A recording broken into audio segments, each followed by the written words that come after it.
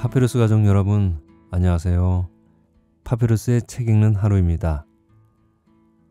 오늘 읽어드릴 작품은 박명희 작가의 단편소설 마음의 가위질입니다. 이 작품을 쓰신 박명희 작가는 1989년 문학사상에서 단편소설 별의 주소로 당선해서 데뷔를 했습니다. 그 이후 중편소설 어둠의 소리, 안개 등 바람벽 등과 단편소설 마음의 가위질, 못난이 인형 등의 작품들을 발표했습니다. 특히 마음의 가위질은 확신을 얻지 못하는 사랑에 대한 여성의 마음의 변화를 세밀하게 표현해낸 작품으로서 한 여성의 이야기에 빠져들며 읽게 되는 소설입니다. 여러분들도 저와 함께 감상하시면서 사랑이 주는 불안함에 대해 생각해 보시는 시간이 되시길 바랍니다. 파피레스와 함께 소설 읽기 끝까지 함께 해주시면 고맙겠습니다.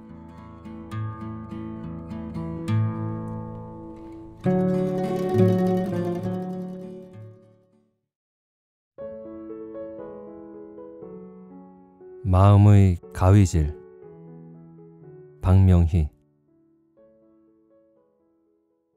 빗소리가 봄을 부르고 있다. 어제부터였다.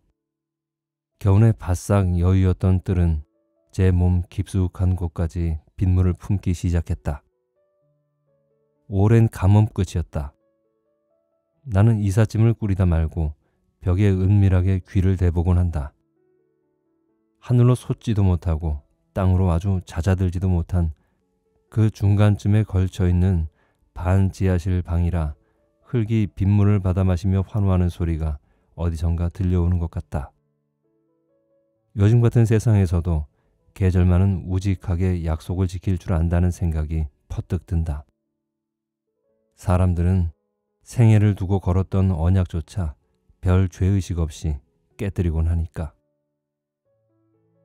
이 비가 그치면 흙 속에서 뿌리만으로 간신히 목숨을 지탱하던 한 해살이 화초들은 또 새 생명을 틔우기 시작할 것이다. 갓난아기 볼때기만큼 여린 이파리들은 세상에 나오자마자 꽃샘 바람에 부대끼고 폭양에 시달리고 서글픈 잎을 떨궈야 하는 생에 대한 무거운 사랑을 또 시작해야 하는 것이다. 그 생각을 하다가 나는 갑자기 목이 메어버렸다. 다 버려. 여기서 가져갈 것은 아무것도 없어. 칼보다 날카로운 그의 음성이 아직도 내 귓가에 선명하게 남아있다. 방바닥에 놔둔 찢어진 육아책 표지가 눈에 들어온다. 엄마와 아기가 서로 마주보며 막 웃음을 터뜨리는 사진인데 하필 아기의 얼굴이 찢어져서 형체를 알아볼 수 없게 되어버렸다. 그 책도 버리려고 탁자 한 켠에 밀어둔 것인데 어찌된 일인지 책 표지만 돌아다닌다. 이삿짐을 싸는 도중에 그렇게 되었을 것이다. 광화문까지 일부러 나가 꽤 비싼 돈을 치르고 산 책이었다. 다 버려. 이사를 앞두고 그의 입에 후렴처럼 붙은 말이다. 고개를 설레설레 내저으며 넌더리 치는 그의 가느다란 입술 사이로는 이곳 사람들에 대한 우월감과 멸시가 함께 맞물려 있었다.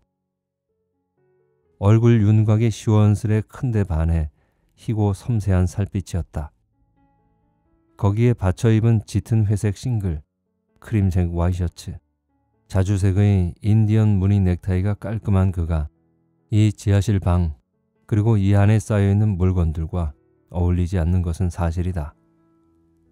값싼 벽지, 그나마 습기 찬 시멘트 벽이 드러나는 벽에는 곰팡이가 거뭇거뭇 피어 있고 낡은 비늘 장판에는 사철 습기가 배어 있다. 솜이 안에서 뭉칠 대로 뭉쳐서 넝마같이 되어버린 캐시밀론 이불. 내가 들어오기 전에 살던 아가씨에게서 몇 푼 주고 물려받았던 구식 캐비넷. 화장대 겸 책상으로 쓰던 호마이카 탁자. 그 위에 놓인 손바닥 두어 개만 한 거울. 그가 숨겨두라고 각별히 맡겨두고 아직도 지금은 그 자신도 잊고 말았을 책보따리들. 아, 참, 내 책도 있다. 행여 그의 눈에 뜨일세라 포장지로 표지를 덧 씌운 대입 수능 시험 준비서들. 어느 것 하나 밝은 지상 세계로 올라갈 만한 물건이 눈에 띄지 않는다. 딱 하나 이 방과 어울리지 않는 것이 있다. 방 한가운데 버티고 있는 침대다. 지난 여름 물난리를 겪고 들여놓은 거다. 습기로 바닥이 항상 눅눅해 있는 이 방에 침대는 필수품이었을 것이다. 그러나 어차피 우리는 이 방바닥에 익숙해져 있었고 또 곧 이사를 할 참이어서 미뤄왔었다. 그 밖에 연탄재에 그을린 냄비, 차라리 깨져버리기라도 했으면 미련 없이 버렸을 낡은 사기 접시, 귀가 떨어져 나간 밥상, 슈퍼마켓에서 사은품으로 받았던 플라스틱 바켓스와 반찬통들을 내놓고 보니 이 많은 잡동사니들이 두 평도 못 되는 부엌 어디에 숨어 있었던가 싶게 너절하다. 다 버려. 하긴 이삿짐만큼 사람살이의 모습을 적나라하게 보여주는 것도 없을 것이다. 그는 이 방에서 살았던 흔적들을 말끔히 지원해 버리고 싶어서 행여 이 방의 채취가 새 아파트에 묻어 들어올까 두려워 버리라고 더 성화일 것이다. 찾아보면 쓸만한 것이 없지 않을 텐데도 나로서도 그의 말대로 하려고 했었다. 그것들을 다 버리고 나면 어쩔 수 없이 앙금으로 덮개가 끼어 있는 그 사람에 대한 사무친 열등감까지도 한데 묻어버릴 수 있을지도 모르겠다. 그런데 비가 그 일을 가로막았다. 그가 과장스럽게 넌더리를 치며 한가닥 미련 없이 버리고 싶어 하는 것들 중에 혹시 나도 포함된 것은 아닐까. 버릴 물건들을 현관에 내놓다 보니 그 생각이 나를 꽉 붙든다. 한때는 목숨과 맞바꿀 위험까지 감내하면서 간직했던 책들을 헌신짝처럼 버릴 수 있듯이 그는 나와의 지난 생활도 몽땅 지워버릴 수 있을 것이다. 그는 그 모든 것들보다 더 중한 자기 자식의 생명까지도 모른 채 할 수 있었으니까. 아침 텔레비전에서는 이 비가 가뭄을 완전히 해갈시켜 줄 것이라고 흥분했었다. 그러나 이제 비는 해갈시킬 정도로 오는 게 아니다. 오후 들어서부터는 하늘 구석이 뻥 뚫린 것 같이 퍼붓고 있다. 나는 아까부터 정확하게 말하면 빗줄기가 굵어지기 시작한 뒤부터 열려있는 방문 밖을 자꾸 내다보았다. 세 평짜리 방과 옛 시골집 툇마루만한 합한 마루, 그리고 역시 옛 한옥 대돌만한 크기의 시멘트 현관은 거의 수평이다. 형광등 불빛 아래 드러난 시멘트 바닥에 아까부터 물이 괴고 있었다. 아침까지만 해도 시멘트를 바른 흙손질 자국이 보였던 배수구가 지금은 물에 잠겨버리고 말았다. 방수공사가 잘못되었을 것이다. 집주인은 목수이다. 1년 내내 남의 집 일을 해주면서도 그는 정작 자기 집안일에는 등한했다. 작년 여름 이곳에 물이 들어왔을 때도 그랬다. 장마라고 해도 강우량이 그리 대단치 않았는데 물이 반까지 차올랐다. 밤에 자다가 섬뜩한 것이 몸을 감싸는 느낌에 소스라치게 놀라 눈을 떠보니 깔고 자던 요가 흥건히 적셔져 있었다. 방바닥을 더듬으려고 손을 내밀자 뜻밖에도 물이 잡혔다. 불을 켜고 보니 방바닥은 이미 물로 가득한데 전날 밤에 술에 취해 들어왔던 그는 태평하게 잠만 자고 있었다. 그의 베개 바로 밑까지 물이 차오르고 그의 발목도 물에 잠겨 있었다. 시퍼렇게 변한 발이 꼭 시체의 그것 같았다. 그를 깨우고 마른 옷으로 갈아입게 하고 방문을 열자 물은 곧 무릎까지 올라올 기세였다. 주인집 식구들까지 손을 모아 밤 내내 물을 퍼낼 때 주인 남자는 장마만 그치면 대대적인 공사라도 벌일 듯 떠벌렸었다. 그러나 정작 비가 그치자 주인 남자는 자기가 일이 없는 일요일로 나를 잡아 동료 미장이 한 사람을 끌고 와서 한나절 동안 일했다. 겨우 시멘트 바닥을 뜯어내고 땜질하듯 방수제를 바르는 정도 같았다. 어차피 우린 장마철이 되기 전에 이사 갈 거니까 마음 쓸 거 없어. 일산에 분양받아 놓은 아파트가 있어서 그는 느긋했다. 겨우 28평밖에 되지 않는다고 그는 남에게 심지어는 나에게 말할 때조차 심드렁해 했으나 우리 처지의 그 아파트는 궁전이었다. 군에서 제대한 그는 갈 곳이 없었다. 그와 같이 운동을 하던 동지들은 이미 대학을 졸업하고 뿔뿔이 흩어져 버린 뒤였다. 그들 사이를 맺어주던 대학이라는 끈이 떨어져 버려서인지 아니면 그 같은 사람들이 더 이상 운동을 할 필요가 없는 살기 좋은 세상이 되어서였는지 그것도 아니라면 그들이 꿈꾸었던 세상은 애초에 이 세상에 존재할 수 없다는 사실을 그제서야 깨달았던 것인지 그 이유는 모르지만 확실한 것은 그를 기다리고 있는 친구는 하나도 없다는 사실이었다. 외국으로 유학을 떠나버린 친구, 언론기관에 취직한 친구, 정식군의 비서가 되어 있는 친구, 뒤늦게 고시 공부한다고 두 평짜리 고시원 방에 틀어박힌 친구, 드물게는 노동 현장으로 더 깊이 들어가 버린 친구도 있었다. 노천 광장을 누비며 그와 뜨겁게 대모를 하던 동지들은 대학을 떠나자마자 어쩔 수 없이 사회인이 되어버린 것이다. 국민학교를 졸업하면 좀 더 의젓한 중학생이 되듯이 그건 자연스러운 일이었을 것이다. 그런데 그 당연한 사실이 그에게는 상처가 되었다. 그가 군에 있는 동안 그들은 그만 덜렁 혼자 내팽개치고 자기들끼리 뒤도 돌아보지 않고 떠나버린 것이다. 그는 자기가 속해 있던 조직에서 유독 자기만 감옥에 가지 않았기 때문에 군에 있으면서도 그들에겐 늘 죄스러운 마음을 갖고 있었다. 그 마음은 차츰 소외감으로 그리고 배반감으로 바뀌었다. 모두들 만나기로 약속한 장소에 피치 못할 사정이 있어 시간에 대해 가지 못하고 뒤늦게 쫓아가 보니 아무도 자기를 기다려주지 않고 떠나가 버린 것 같은 죄책감과 허탈감 그리고 섭섭함이 그를 끈질기게 붙들고 늘어졌다.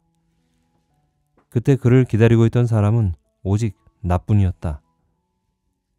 그는 사철 곰팽이 냄새가 나는 이 방과 비 맞은 강아지처럼 초라한 내 모습에서 자신의 모습을 보았는지도 모른다. 그래서 내 방에 머물러 버린 것 같다. 이전부터 이 방은 그에게 익숙한 곳이었다. 대학교 앞 상가 일대에 학생들의 시위가 황사바람처럼 어질머리를 일으키고 다니던 시절이었다. 현란하게 꽃을 먼저 터뜨린 나무들이 다투어 잎을 피우기 시작하면 계절풍과도 같이 어김없이 찾아온 최루탄 냄새가 학교 근처를 진동했다. 그 와중에 그는 내가 근무하던 미장원으로 갑자기 뛰어들어 여자 화장실에 들어온 괴한같이 파란을 일으켰다. 살 한 점 잡히지 않을 깡마른 얼굴에 대학생다운 지성미도 귀티도 나지 않던 그는 경찰에 쫓기는 여느 범인의 형상과 별로 다른 점도 없었다. 그런데 그의 젖은 눈빛과 마주치던 순간 그를 도와주고 싶은 욕구가 전류보다 더 빨리 내 가슴을 스쳤다. 그의 눈빛은 쫓기는 범인답지 않게 뜻밖에도 고요했다.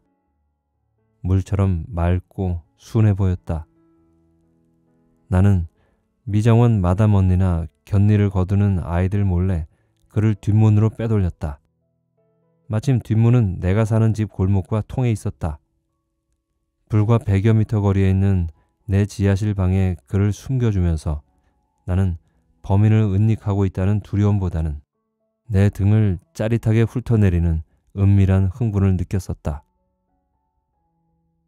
그때 나는 내 분수에 맞지 않게 잠시 허영에 들떴던 듯 했다. 또한 내가 대단한 일이라도 하고 있다는 착각에 빠지기도 했을 것이다. 그러나 그는 나를 볼 때마다 내 눈을 피했다. 그가 어쩔 수 없이 나와 함께 있는 것을 부담스러워하고 창피해 하는 거라고 생각했다. 참을 수 없는 자괴감에 밀려오면 이게 마지막이지 하면서도 나는 그에게 전화를 걸고 마지못해 만나주는 듯한 그와 시간을 보내고 헤어져 돌아서 걷는 그의 완강한 뒤통수를 바라보며 그때마다 나는 껄끄러운 우리 사이의 어떤 뒤틀림을 예상하곤 했었다. 그가 최전방 군부대로 끌려갔을 때 그와 알게 된 후 나는 처음으로 꿈을 가졌었다. 조금은 앙큼하고 비열한 음모일 수도 있었다.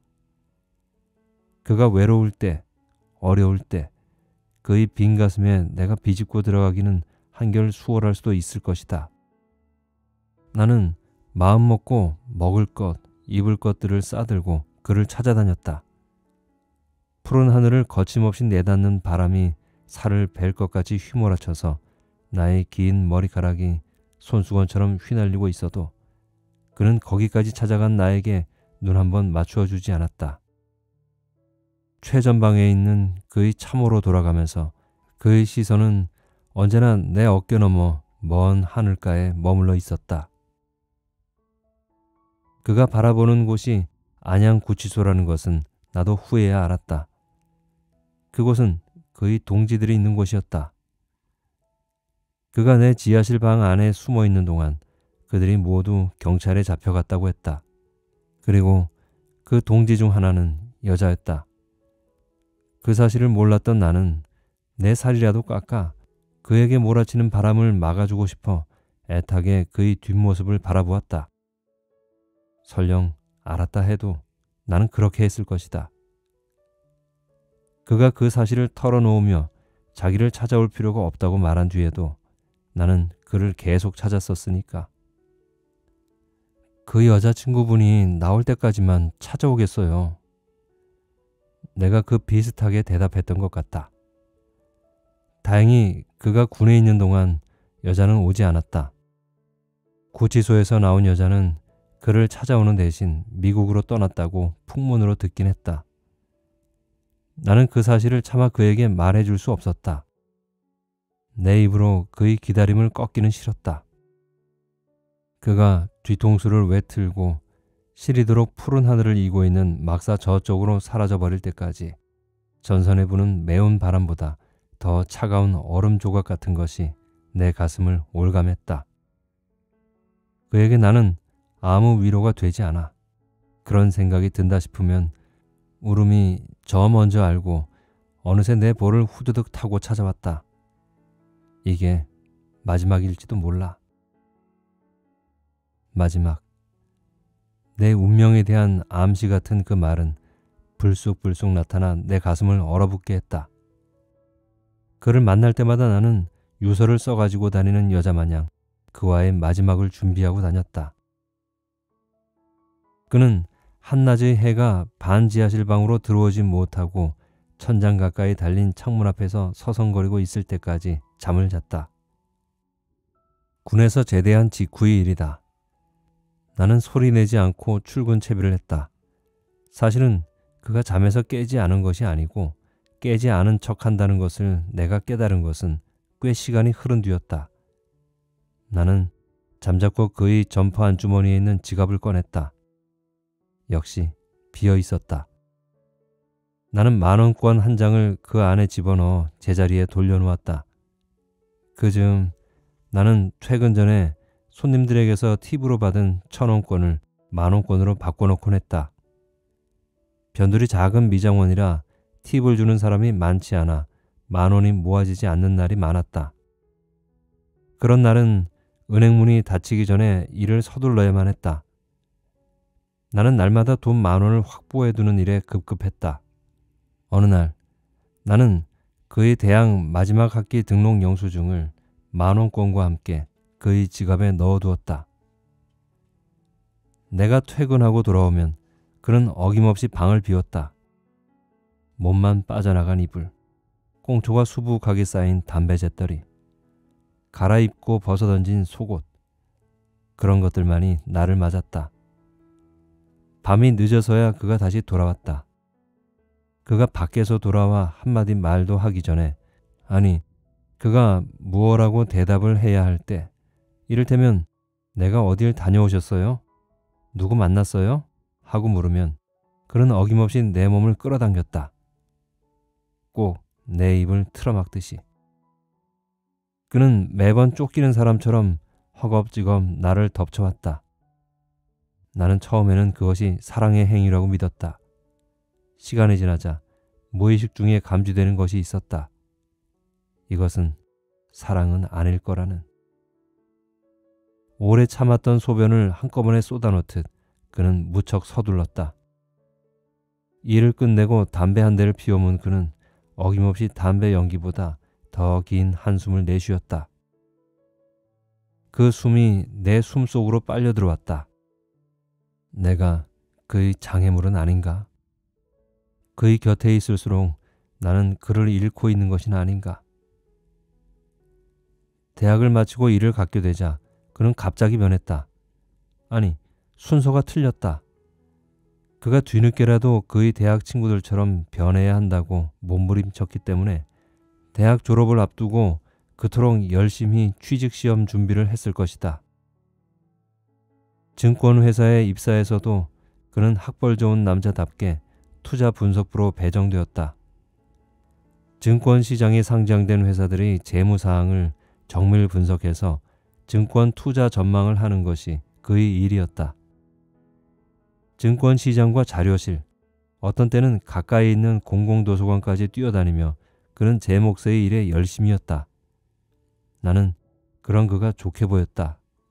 대학 때는 경찰에 쫓겨다니던 그가 대단해 보이더니 군에서 제대하고는 무의도식하는 그가 가난한 옛 선비같이 청초해 보이더니 일에 열중하는 그에게는 또 다른 매력이 있었다. 능력별로 받은 보수가 내 예상을 훌떡 뛰어넘었다. 그는 증권시장에 상장된 회사들의 재무구조에 대해 해박했고 숨막히게 급변하는 국제 경제계의 움직임에도 민감하게 반응했다. 투자자들을 끌어들이는 설득력 또한 뛰어났다. 고행 예탁자가 그에게 모여들었다. 그는 예사롭게 영자가 눈알이 튀어나오게 많은 은행 통장을 나에게 내보이곤 했다. 물론 그의 돈은 아니었다. 내가 혹시라도 영자를 잘못 헤아렸나 싶어 몇 번이나 헤아려 보곤 했다. 1, 10, 100, 1000, 만 1, 10, 100, 1000, 만 내가 서투르게 숫자를 헤아리고 있으면 그는 자리에 벌렁 누워버렸다. 그리고 탄식처럼 말했다. 돈이 돈을 버는데 말이야. 그까진 몇 푼이나 번다고. 그가 나에게 미장원을 그만두라고 하면서 하던 말이다. 언제는 자기 지갑에 마르지 않는 셈처럼 날마다 용돈 만 원이 솟아나게 해주었던 미장원 일이 대견하다고 했으면서 그는 나에게 통장을 훌떡 던져주었다. 넣어두어 여러 번 영자를 세어볼 만큼은 아니어도 두 번, 세 번은 세어야 할 만큼 꽤 많은 돈이 들어 있었다. 증권 경기가 좋지 않아서 내 주식을 잠시 빼냈어. 어떻게 된 게 증권 시세가 전혀 이론대로 움직여주지 않아. 그러니 100번 분석하고 전망해 보아야 다 헛거야. 손 큰 놈들이 워낙 장난을 쳐서 말이야. 이론대로 정석대로 노력해서 살아가는 사람이 바보가 되는 참 괴상한 나라야. 이놈의 나라는. 그의 입술까지 바싹바싹 타들어갔다.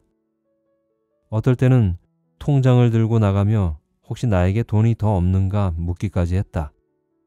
지금 큰 손들이 움직일 때 왕창 집어넣어야 이삭이라도 줍는 건데 돈이 눈앞에서 널려다니는데도 줍지 못하고 있으니 없는 놈들은 움치고 뛰어보았자 있는 놈들 손바닥 안에 있어. 이렇게 해서 언제 도 모아? 말을 밖으로 내뱉은 것이 아니고 입 안으로 주워 담듯 중얼거리는 그가 퍽이나 가난해 보였다. 옛날 나에게서 용돈 만 원을 넌지시 받아 쓰던 그때보다 더. 그렇게 시간이 흐른 것이다. 미정원을 그만두고 낮 시간이 나자 아무도 몰래 대입 검정 고시반에 다시 등록했다. 고등학교 1학년을 중퇴하고 서울에 온 뒤 벌써 세 번째 했던 등록이었다. 그러나 주간반에 다니게 된 것은 처음 일이었다. 미용사가 되었을 때 아버지가 돌아가셔서 시골에 더 이상 아버지 약값을 보내지 않아도 되었을 때 나는 고등학교 졸업 자격이라도 따두고 싶었었다. 밤에 검정고시 준비학원에 다녔다. 그 즈음 그가 나에게로 왔었다. 나는 그에게 내가 다닌 학교 이야기를 한 적이 없었다. 그 역시 무심결에라도 그에 대해 물은 적이 없었다. 물론 그 부분에 대해 모르는 채 해준 그의 배려가 지금도 고맙다. 그래서 나는 그에게 고등학교 졸업을 못했노라는 말을 못했다. 그래서 지난 봄 대입 검정고시에 합격했다는 말도 할 수 없었다. 아파트가 당첨됐다고 그가 말했을 때 나는 왠지 가슴이 철렁 내려앉았다. 아파트가 생긴 것은 그에게 갈 곳이 생긴 것이고 그렇다면 그가 나를 떠날 것 같은 당연히 그래야 할 것 같은 마음이 들었다. 내 지하실 방은 그가 비를 피해 가기 위해 잠시 머물렀던 쉼터였을 뿐이고 이제 비가 그쳤으니 그는 그의 원래 자리로 돌아가야 할 것 같았다. 갑자기 그가 입주하게 될 아파트 명의를 내 앞으로 해놓겠다고 했다. 나는 싫다고 했다. 그는 그렇게 해야 자기 마음이 편할 것 같다고 했다. 나에게 진 빚을 갚고 싶다고 했다. 그건 빚으로 들인 것이 아니었어요. 나는 그 말을 하지 못했다. 그에게 나는 무엇인가? 그를 부담스럽게 하는 빚쟁이 정도밖에 되지 않았을까? 우리는 사람들 앞에서 서서 엄숙한 결혼 서약 같은 것을 한 적이 없었다. 뿐만 아니라 그와 단둘이 미래에 관한 어떤 이야기조차 해본 적이 없었다. 나에게는 미래에 대한 꿈만 있었지 계획은 없었다. 나는 그저 오갈 곳 없는 그가 구름처럼 내 집에 머물렀다 바람처럼 가버릴 것이라는 일종의 피해 망상증에 시달리며 살았었다. 그런데 마음이 그에게 전해졌던지 그는 가만히 내 머리를 감싸 안았다. 솔직히 말할게. 나 이 회사에 오래 다닐 생각 없어. 어느 정도 돈이 모아지면 내 사업을 해볼 계획이야. 사업에는 위험 부담이 따르니까 당신 앞으로 아파트를 해놓으려고 해. 그 뜻도 있어. 정말일까? 의심이 연기처럼 일었다. 그리고 생각하니 내 인감 도장은 아예 그의 손에서 그의 것으로 쓰여지고 있었다. 어떻게 돈을 벌지? 아스라이 눈빛을 모으며 허공을 바라보는 그의 눈초리는 자본주의의 모순을 들먹이며 비도덕적인 자본가들을 매도하던 그때의 눈빛과 별로 달라 보이지 않았다. 나는 머리를 세차게 내저었다. 그의 손가락 사이로 내 머리칼이 흘렀다. 당신 머리카락은 맨살 끝에 와닿는 봄바람 같아. 푸릇푸릇한 들판 위로 아지랑이를 몰고 다니는 부드러운 바람 말이야. 오랜만에 보는 그의 젖은 눈빛이 까닭 모를 향수를 불러일으켰다. 뜨거운 그의 입김이 내 머리칼에 닿았다. 부드럽고 윤기가 자르르한 생머리였다.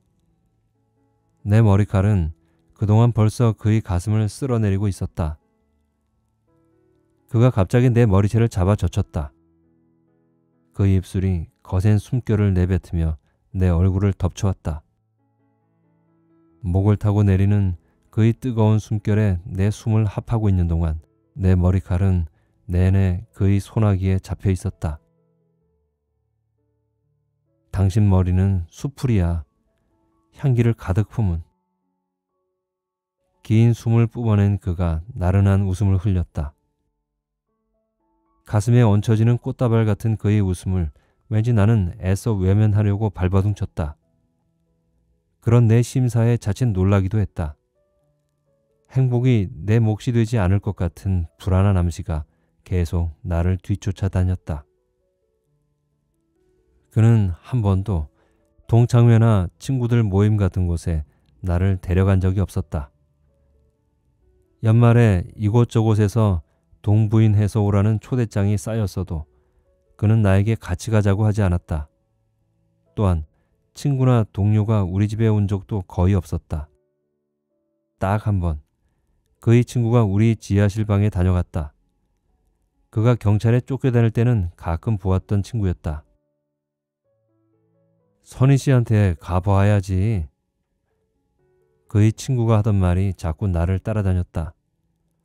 꼭 칠성판 크기의 수술대 위에 누워서 수술을 기다리고 있을 때였다. 나는 도리지를 해가며 선이라는 이름에서 벗어나려고 애썼다. 그가 보던 책갈피, 노트 같은 것에서 숱하게 보아왔던 이름이었다. 그날 맹세코 나는 그들의 대화를 귀여겨 들으려는 의사는 없었다. 저녁을 준비하고 있었는데 방에서 그들의 대화가 들려왔다. 내가 왜? 하는 그의 대답. 선희 씨가 온 게 언젠데 정말 면회 한 번 안 갔단 말이야? 응. 어쩌다 그런 모진병이 들었지? 고문 후유증이겠지. 그러지 말고 한번 가봐. 국립정신병원이래. 중국동에 있는 거. 이제 와서 그럴 필요가 있을까? 야, 아무리 선희 씨 부모가 널 떼어놓으려 딸을 미국으로 빼돌리기는 했다지만 그렇게 돼서 돌아온 선희 씨가 안 됐잖아. 지난번에 가보니 상태가 좋지 않았어. 내가 넌 줄 알고 네 이름을 부르면 매달리는데 차마 못 보겠더라. 더구나 씨네 집도 망해버리고 아버지도 돌아가시고 형편이 말이 아닌가 보던데. 가만 가만 말하던 친구의 음성이 어느새 커져 있었다. 알고 있어. 짧고 명확한 그의 대답. 알고도 안 가본 거야? 어처구니 없어 하는 친구. 그러나 곧 부드럽게 그를 달래는 음성이 들렸다. 친구의 설득이 끝나기도 전에 그의 빠른 음성이 들려왔다. 다 철없던 때 소꿉장난을 하던 이야기다. 지금은 나 살기도 바빠. 그보다 너 이젠 제발 그만두고 빨리 울산을 떠나와. 내가 내 일자리를 알아봐 줄 수도 있어. 큰 돈을 주물럭거리는 사람들을 내가 많이 알거든. 남들은 24시간이 모자란다고 아우성치며 뛰고 있는데 우린 낭비할 시간이 없어. 시대도 바뀌고 내 나이도 더 이상 방황할 때가 아니야. 내일은 내가 알아서 해. 난 우리들의 동지였던 선희 씨를 어떻게 돕자는 말을 하고 있어 지금. 날 보고 어떻게 하라는 거야? 갑자기 그의 목소리가 벼락처럼 울렸다. 잠시 침묵. 그의 무거운 음성이 다시 들렸다. 두 번인가 병원비를 보냈어. 익명으로. 그게 내가 할 수 있는 일의 전부야. 나는 지금 과거로 돌아갈 수도 그럴 마음도 없어. 더 이상 나를 그쪽에 연결시키지 마. 내 심장 뛰는 소리가 내 귀에도 들렸다. 나는 그 소리가 방에까지 들릴까봐 얼른 지하실 밖으로 나와버렸다. 속 없이 선희 씨라는 여자가 가여웠다. 옛날 그의 쓸쓸해하던 얼굴 위에서 나는 언제나 직감적으로 그녀의 이름을 읽었다. 그들의 대화로 미뤄보면 이제는 그의 마음에서 선이라는 지문이 말끔히 지워졌다는 것일 텐데 왜 기쁘지 않고 썰렁한 기류 같은 것이 내 마음을 얼어붙게 했다. 날 보고 어떻게 하라는 거야? 그의 그 물음은 어느새 나를 향해 있었다. 나는 저녁상을 내갈 생각도 못하고 골목 밖으로 나와버렸다. 목에서 올라오는 건 구역질이 끊임없이 나를 보챘다. 그 와중에 난생 처음 나에게도 어설프게나마 미래를 그려볼 계기가 마련되었다. 아기가 생겼던 것이다. 그 사실을 알렸을 때 그는 다짜고짜 내게 사과부터 했다. 병아리나 강아지 같은 짐승의 새끼들만 보아도 못 견디게 아기가 갖고 싶었던 내 기쁨을 그에게 알릴 짬도 없었다. 미안해. 내가 실수했어. 지금 형편에 당신에게 애까지 낳아달라고 할 염치가 없어. 내가 아버지가 될 능력도 없고. 아이를 서두를 거 없잖아? 이 지하실 방에서 생겨난 아이에게 무슨 꿈이 있겠어? 나는 내 자식만은 책임있게 낳아 보란 듯이 키우고 싶어. 좀 더 있다가 사업 시작해서 기반이 잡히면 그때 아이를 가져도 늦지 않아. 자신의 당황함을 내게 숨기려고 그는 말을 길게도 했다. 그리고 끈질기게 설득했다. 아이를 돈으로 키우는 것은 아니라고 나는 서투르게 그를 이해시키려 했다. 그는 나를 거침없이 비웃었다. 옛날이라면 자기도 그렇게 말할 수 있었다고. 그러나 정작 그가 세상에 대해 눈을 뜨고 보니 그건 꿈속의 환상에 지나지 않았다고. 가진 자들에 비하면 우리 사는 방식은 하루살이 날벌레나 다름없다고. 죽도록 일해 한 달에 한 번 봉급받아 한 달 먹고 살면 또 일해서 또 다음 달을 꾸려야 하는 우리 살림이 하루살이와 뭐가 다르겠느냐고. 자기 자식만은 사람 사는 것 같이 살게 할 거라고 했다. 시계바늘이 자정을 넘어서 버리면 술 취한 채 운전을 하고 돌아오는 그를 나는 방에 앉아서 기다리지 못하고 기어코 대문 밖까지 마중 나가곤 했다. 마르모진 보도 블록이 깔린 기다란 골목 안에는 오래된 가등조차 꺼져버리고 전봇대만한 가로등 기둥만이 고단하게 새벽을 기다리고 있었다. 기역자로 꺾인 골목을 돌아가자 불빛이 환히 비쳤다. 어느 대문 문설주에 켜놓은 외등이었다. 한참 그 빛을 바라보고 서 있자니 눈물이 소리 없이 볼을 타고 흘러내렸다.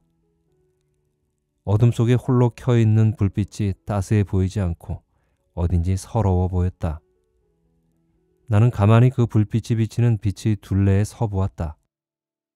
혹여 내 그림자가 안으로 비칠까 조심하며 나는 문설주 틈으로 그 집안을 기웃거려 보았다. 안에서 불을 밝혀놓고 가족을 기다리는 그 집의 여자도 잠을 못 이루고 있을 것 같았다. 다른 가족들은 모두 잠이 들었어도 그 여자만은 기다림의 촉수를 세우고 문 밖의 발걸음 소리에 귀를 기울이며 창밖을 내다보고 있을 것이다. 행여 내 발걸음 소리가 그 여자에게 헛된 바람을 안겨줄까봐 걸음 소리를 죽이고 걷다 보니 나도 모르게 무거운 한숨이 터졌다. 사랑이란 그렇게 고단한 것인가? 그 여자의 사랑도 나의 그것처럼 이렇게 무거울까? 그때 갑자기 안에서 갓난아이의 울음소리가 들려왔다. 마치 요술에 걸린 것 마냥 순식간에 외등빛이 따스하게 변했다. 그 빛은 이미 외로운 기다림의 빛이 아니었다.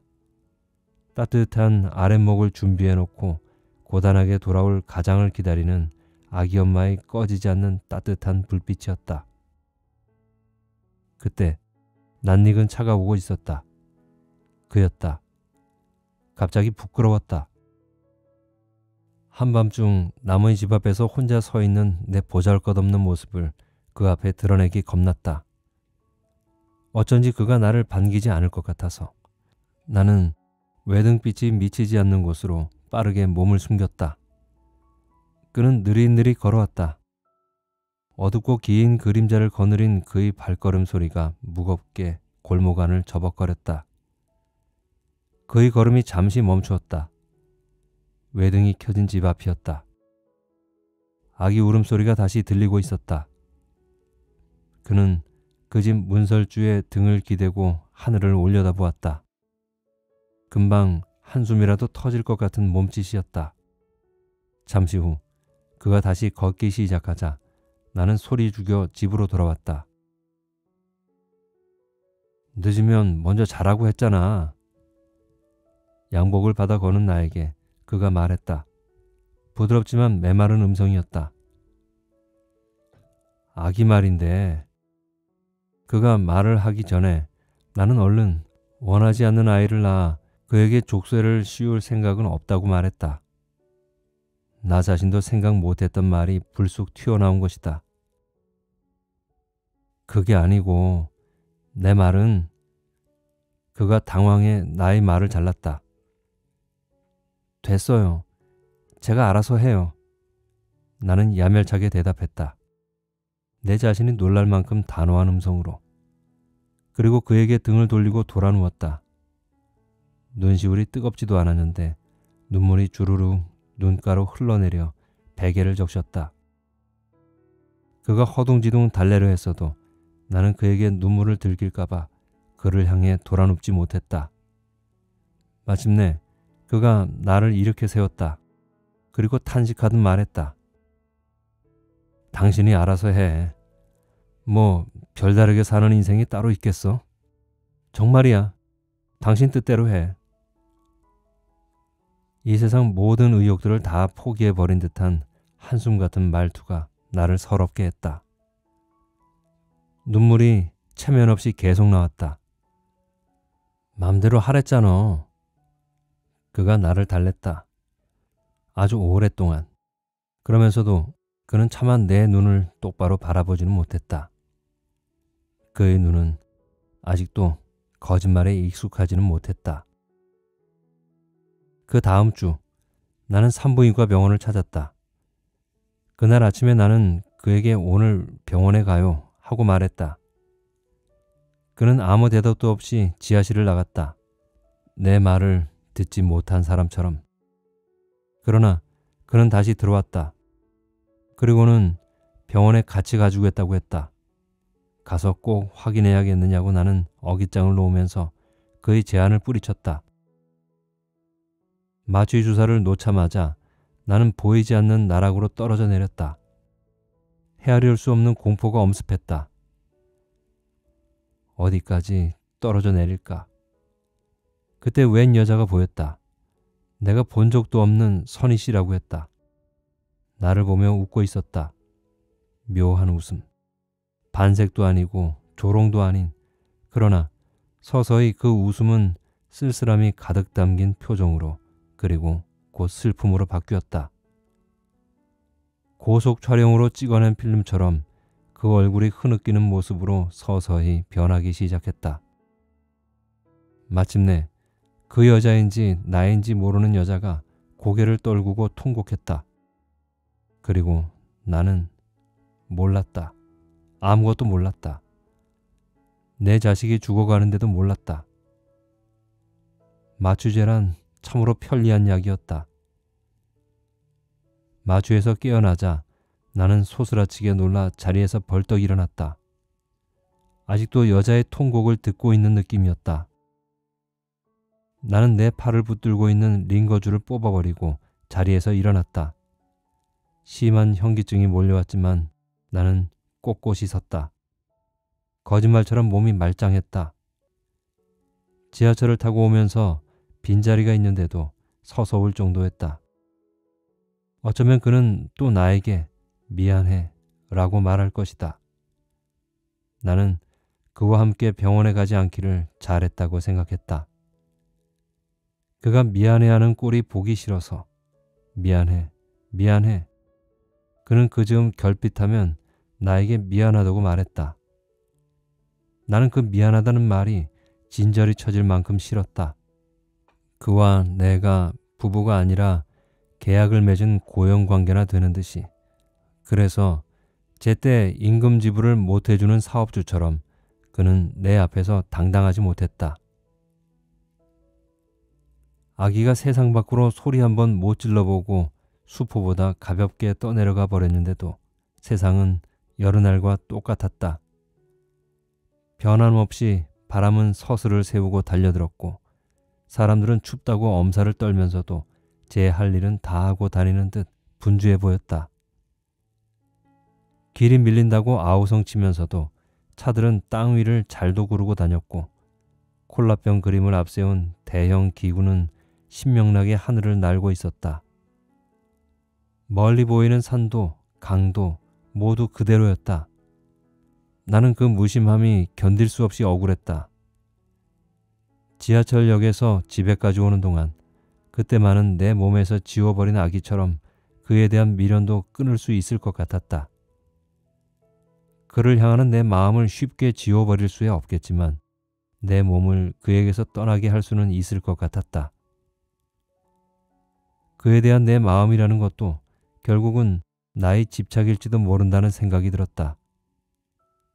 더 큰 욕심이 생기기 전에 절대 그럴 일은 없겠지만 그에 대한 미움이 내 마음 속에서 싹트기 전에 나로 인하여 그가 더 괴로워하기 전에 다 버린다고 생각하니 꾸릴 짐도 별로 없다. 나는 이제껏 이사를 해본 경험이 없다.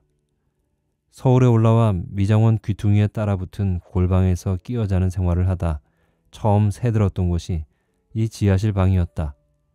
그러고 보니 꼭 가져가야 할 것이 있기는 하다. 당장 입을 옷가지들과 가위집을 꺼낸다. 누비천으로 만든 가위집을 열면 그 안에 수술장에 진열된 기구처럼 수십 개의 가위가 들어있다.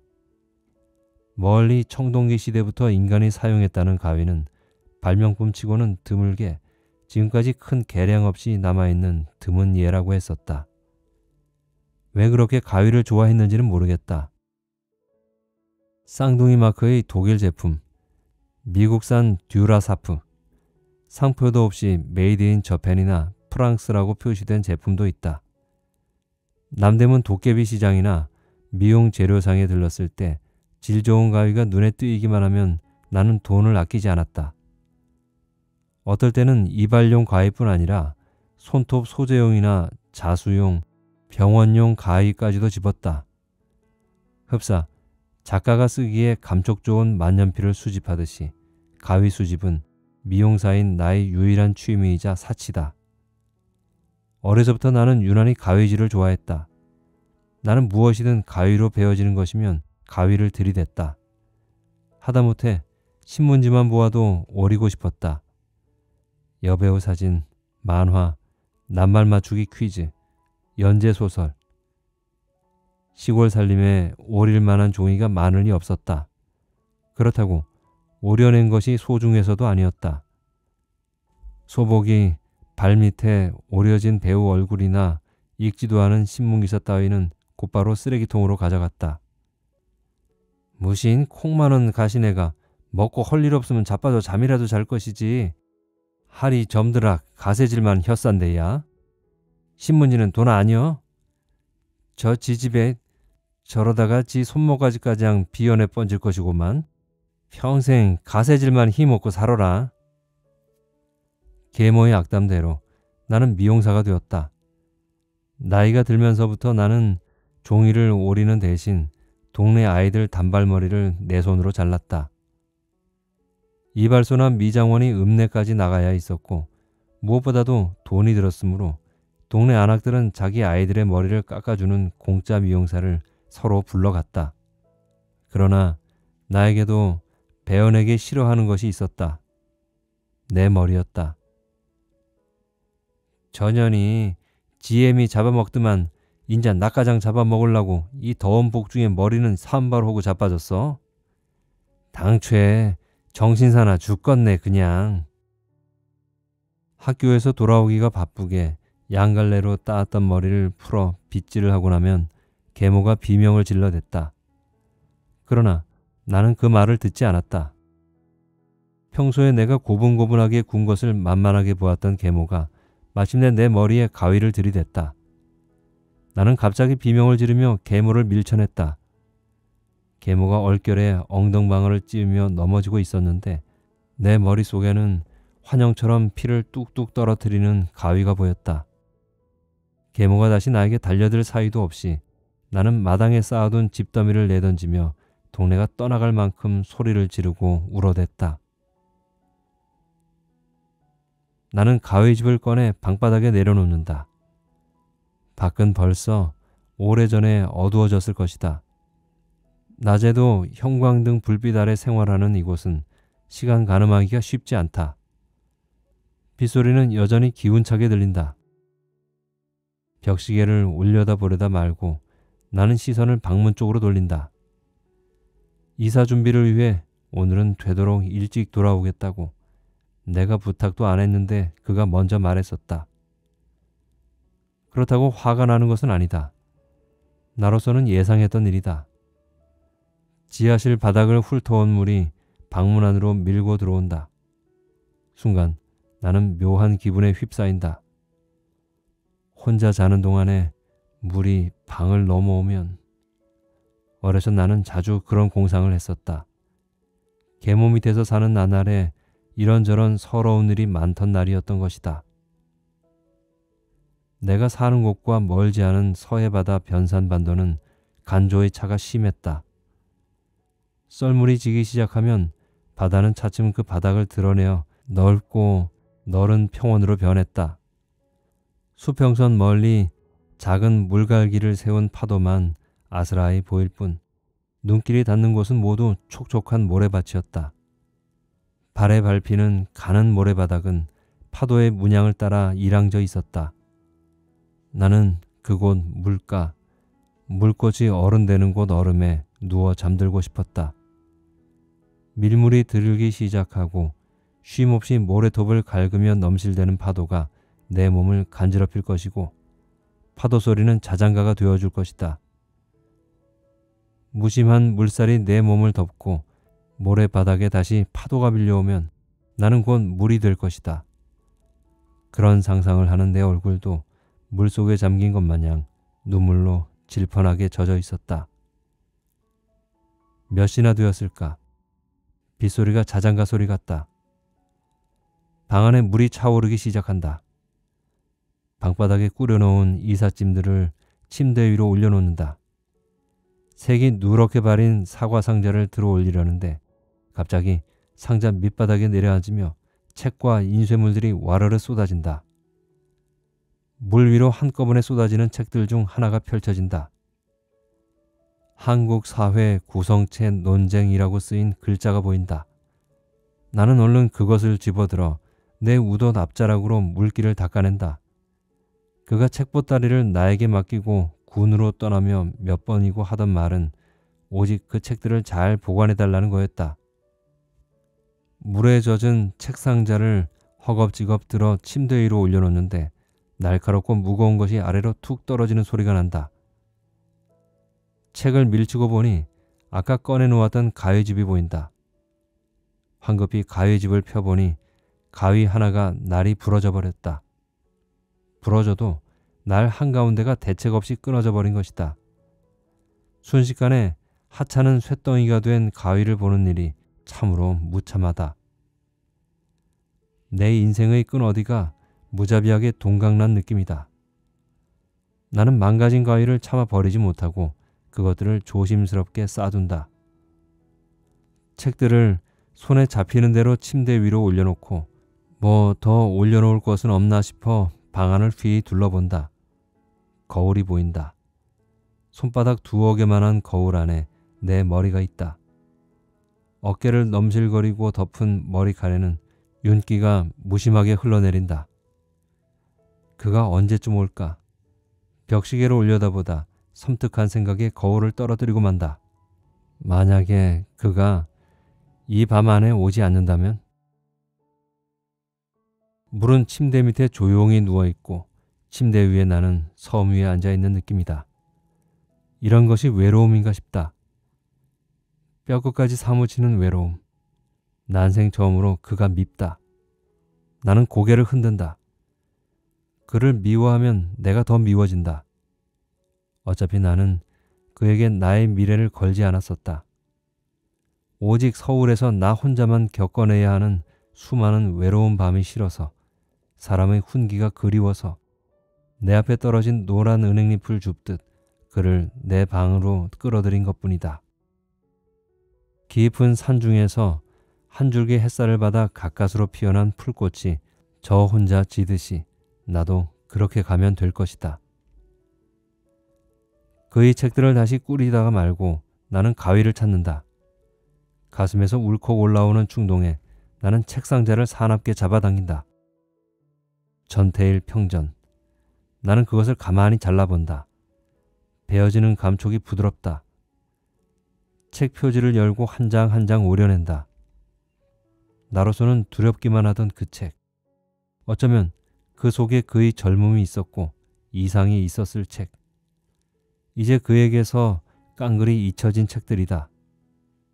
아마도 그가 다시 이 책들을 본다면 오직 젊음만이 가질 수 있었던 이상이었노라고 흡사 어린 시절에 아끼던 장난감 보듯 그렇게 즐겁고 아련하게 그러나 철없던 때의 위험한 노름이었다고 익살스럽게 아슬아슬한 표정을 지으며 넘길지도 모르겠다. 어린 시절 스쳐간 소꿉친구처럼 내 이름도 그리고 어쩌면 선희 씨의 얼굴도 그렇게 그의 기억에서 묻히리라. 그가 나에게서 영영 달아나 버리면 그와 함께 나눈 자잘한 추억들도 서서히 말라가리라.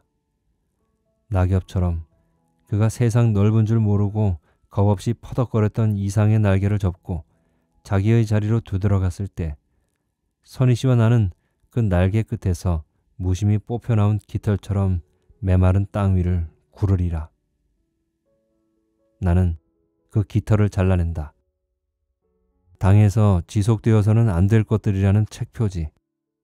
알티세르라는 책의 저자의 이름도 서슴없이 잘린다. 다시 쓰는 현대사. 철학의 철학사적 이해. 대중 파업론. 거의 6년 가까이 보관하고 있으면서도 한 번도 읽지도 듣지도 알지도 못한 책들이었다. 로자 룩셈부르크, 라이트 밀즈. 나는 정신없이 잘라낸다. 미련을 잘라내듯이. 마침내 더 이상 자를 것이 없어진다. 그래도 미진함이 나를 놓아주지 않는다. 무언가 지금 당장 잘라내지 않으면 안 될 것이 있을 것 같다. 이 세상 모든 것들을 다 도려내고 싶은 사리가 울컥 올라온다. 나는 이미 폐휴지가 된 책장들을 다시 집어들고 가위를 들이댄다. 책장들이 마침내 미세한 종이 알갱이가 되어 물 위로 뿌려진다. 침대 주변에 모자이크처럼 떠있는 빛바랜 종이 가루들. 그 속에 거뭇거뭇 보이는 잘려나갈 글씨들이 장송 행렬의 만장 같아 보인다. 침대 바닥에 나뒹구는 거울 속에 내가 있다.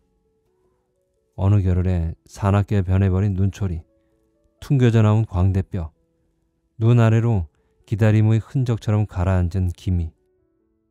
아픔을 내뿜지 못하고 혼자 삼키려 꼭 다물어 버리는 입술에서 낯선 살기가 전해져 온다. 오직 한 가지 무심하게 있는 것은 물결처럼 흘러내리는 머리칼 뿐이다. 당신 머리칼은 살 끝에 와닿는 봄바람 같아. 그 소리가 환청인 듯 싶다. 그의 숨결이 닿는 순간 살아 숨쉬던 머리칼의 감촉도 환각인 듯 싶다. 나는 와락 내 머리채를 잡아 가위를 들이댄다. 한 움큼의 머리카락이 뭉턱 잘린다. 내 손아귀에서 빠져나간 머리카락이 만장 같은 종이 가루 위를 덮친다. 당신 머리는 수풀이야. 향기를 가득 품은. 그의 음성이 들려오는 것도 같다. 삭, 삭. 나는 그 소리마저 머리칼과 함께 잘라내기 시작한다.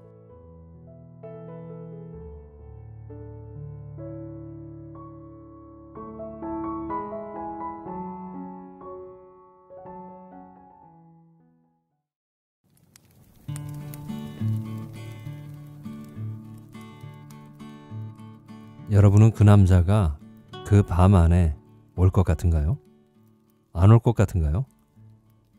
저는 다 읽고 난 후에 제일 먼저 궁금했던 게 그거였어요. 파프레스 가족분들께도 한번 물어봐야겠다 싶었거든요. 어때요? 지금 빗물이 홍수를 이루고 있는 그 지하방으로, 아니, 더 정확하게는 이 여자에게로 남자가 돌아올까요? 여러분들의 대답을 듣기 전에 먼저 제가 저희 결론을 말씀드릴까 합니다. 저는요, 남자가 반드시 돌아온다에 걸고 싶습니다. 여자의 이야기를 쭉 들어보니까 그 남자는 그래도 의리가 있는 사람이라는 생각을 했거든요. 자기가 어려웠을 때 자기를 보호해주고 감싸주었던 이 여자와 그 공간을 배신하지는 않을 것 같습니다. 물론 언제 한번 확실하게 여자와의 미래에 대해서 말해주지도 않았지만 말입니다. 그것이 무엇을 의미하는지는 잘 모르겠습니다. 일부러 말을 아끼는 건지 아니면 원래 과묵한 사람이었던 건지. 그런데 여자는 그의 그런 과묵함 때문에 늘 불안감에 시달리고 있었던 거 아시나요? 남자는 지금까지 아무것도 여자에게 계획을 말해주지 않았어요. 돈 버는 사업을 하겠다거나 내 자식은 좀 더 번듯한 곳에서 제대로 키우고 싶다 정도의 말은 했었지만 그게 자기 혼자만의 계획인지 여자를 포함한 계획인지는 남자가 말해주지 않는 이상 여자로선 확신할 수 없었던 겁니다. 그러니 불안할 수밖에요. 언제든 떠날지도 모르는 남자와 하루하루 얼굴을 맞대고 산다는 게 여자로선 살얼음 판을 매일 미끄러져 걷는 기분이었을 것 같습니다. 그 불안감을 안고 언제까지고 살 수는 없습니다. 그래서 결심을 하게 되는데요. 그녀가 결심을 하는 것은 마지막 장면에서 알 수 있습니다. 남자의 책들을 가위로 잘근잘근 잘라내고 자신의 긴 머리카락도 한 움큼 잡아서 잘라내는 장면. 이제는 더 이상 그의 마음에 얽매여 나를 불안하게 하지 않겠다는 의지가 느껴지지 않나요? 계모가 머리카락을 자르겠다고 가위를 대기만 해도 비명을 지르던 여자가 스스로 뭉텅뭉텅 잘라내고 있단 말이죠. 이건 남자가 어떻게 나오든지 나는 개의치 않겠다. 나는 과거의 나와 결별하고 새로운 나로 다시 재탄생하겠다는 의지로서 봐도 좋을 것 같습니다. 남자 때문에 조마조마한 가슴을 더는 견디지 않겠다는 의미이기도 하고요. 때마침 지하 방에 들어차는 물은 그녀가 묻어버리고 싶은 것들을 물로 다 담아내서 떠내려갈 것입니다. 그리고 결국 남자는 돌아올 겁니다. 예전과는 확실히 달라진 여자와 함께 새 아파트로 이사할 거예요. 그리고 거기서 새로운 꿈을 꾸게 될 겁니다. 이제는 남자에게 당당해진 모습으로요. 그런 결론이 기다리고 있을 것 같습니다.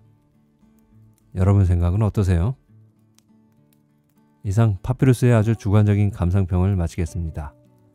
박명희 작가의 단편소설 마음의 가위질을 읽어드렸습니다. 끝까지 함께 해 주신 파피루스 가족분들께 감사드립니다. 저는 행복한 책 읽기 파피루스의 책 읽는 하루였습니다. 오늘 하루도 고생 많으셨고요. 다음에 만날 때까지 편안하고 행복한 시간 보내세요. 다음에 또 봬요.